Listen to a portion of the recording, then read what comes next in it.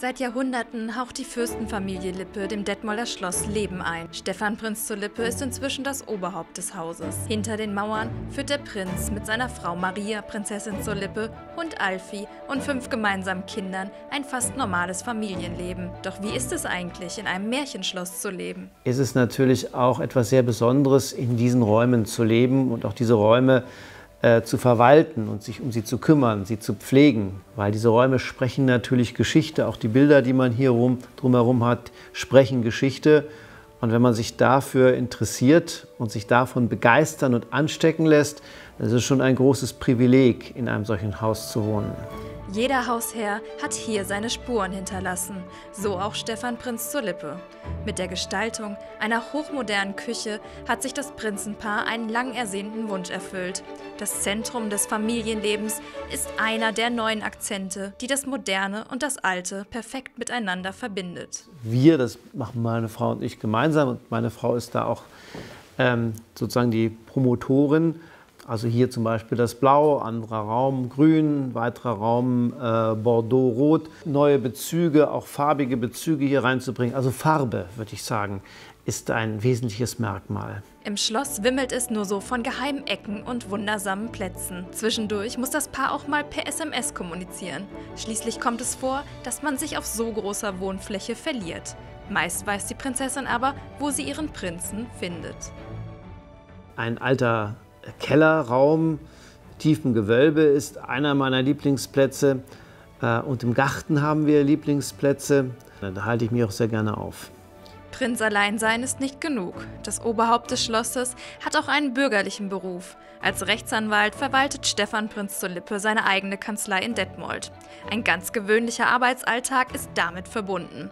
Und auch das Freizeitprogramm der Fürstenfamilie scheint gar nicht so anders zu sein typischer Freitagabend äh, sieht entweder so aus, dass man Tatort, Tatort läuft Sonntag, ähm, also ein Krimi, der am Freitagabend im Fernsehen läuft, schaut oder aber äh, Romy Cup oder andere Spiele mit der Familie spielt.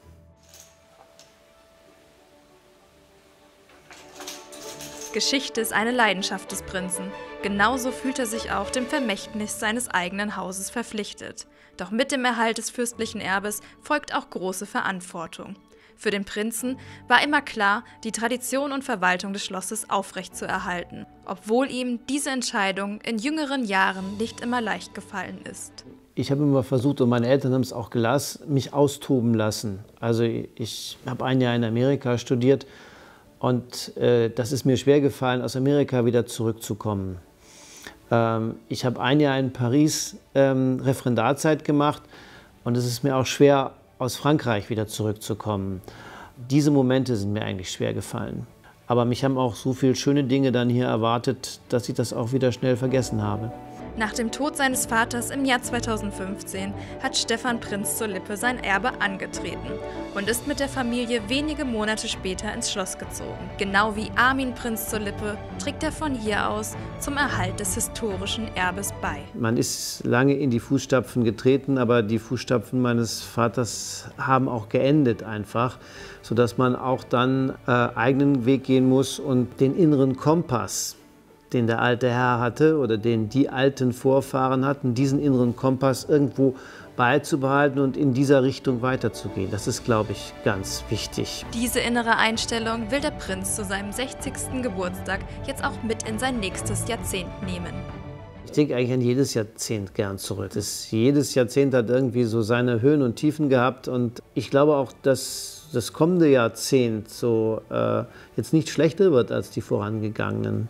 Ähm, dass man einfach sagen kann, jedes Jahrzehnt hat seine, seine tollen Seiten gehabt. Und das hoffe ich, wünsche ich mir auch für das kommende.